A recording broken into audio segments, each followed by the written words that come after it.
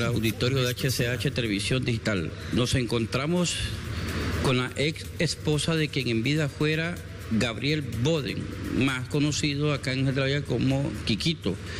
A ella es que le han hecho mención que eh, la quieren vincular con esta situación de este triple femicidio y un homicidio, tres féminas y una persona de sexo masculino.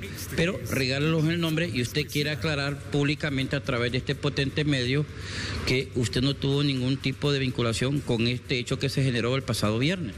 Sí, mi nombre es Elma Daniela Cruz Romero. Sí, yo vengo a dar mi cara porque yo no tengo nada que ver en esto.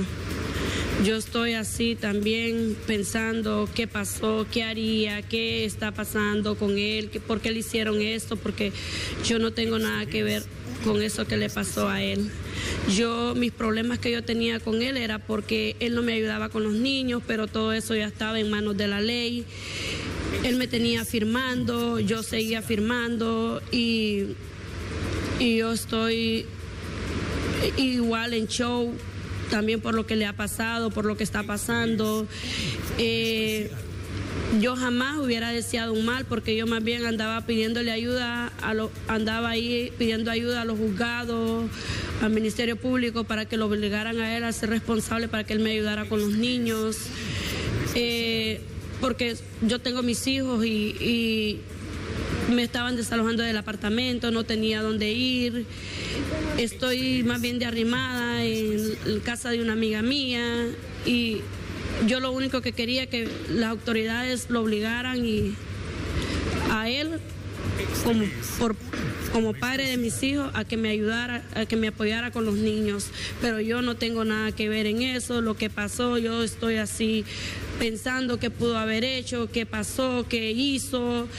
Eh, estoy también en show por esto que, le pasó. Jamás hubiera deseado algo mal para, mis, para él porque mis hijos también está sufriendo y sea como sea, él era el papá de mis hijos y yo no iba a poner a que mis hijos estuvieran esté así sufriendo por él también.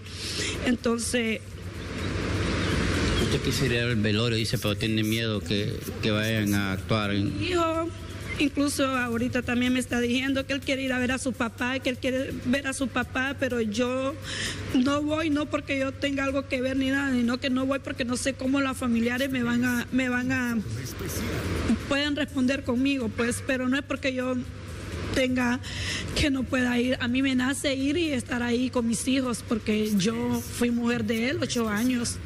Ocho años Ocho años viví con él y teníamos hace un año y como seis meses por ahí de habernos dejado. Tuvimos problemas, pero todo eso ya estaba en manos de, de, la, de la policía, del Ministerio Público pero no era para llegar a que yo podía llegar a este extremo. Rigo, yo no tengo ni para comer, yo no tengo ni si yo más bien andaba ahí obligando, estando queriendo que me, que me ayudaran para que lo eh, obligaran a él a que me apoyara con los niños porque no tenía como para responder. Estoy arrimada, pues no, no, son tres, son tres niños los que me toca mantener.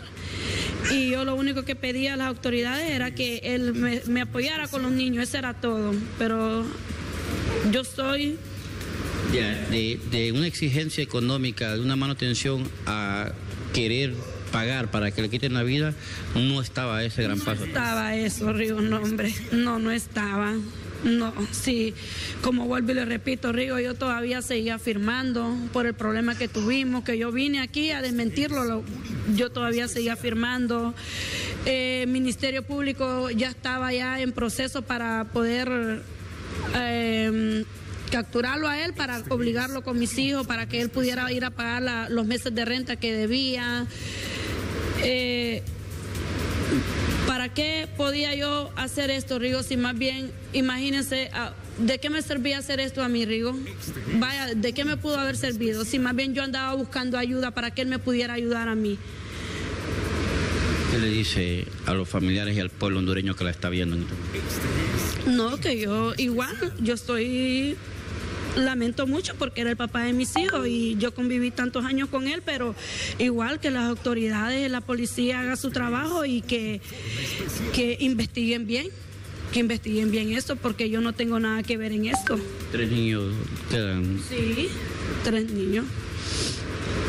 A los familiares que están viendo, ¿qué mensaje les envías? No, que igual, ahí como ellos están sufriendo por él, yo también, mis hijos también, porque sea como sea, yo no quería verlo muerto.